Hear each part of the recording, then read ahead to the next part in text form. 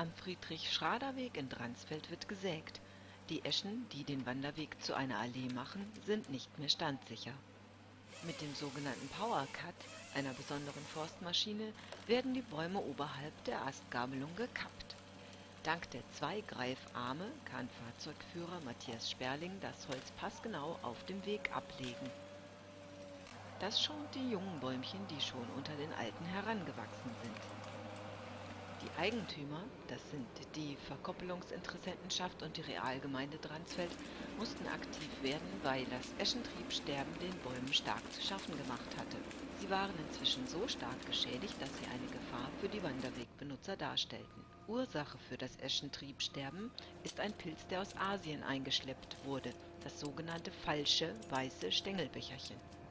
Das Holz wird am Wald zwischengelagert und später zu Hackschnitzeln verarbeitet. Die natürlich nachgewachsenen jungen Bäume am Wegesrand sollen dem Wanderweg bald wieder seine Allee annehmen.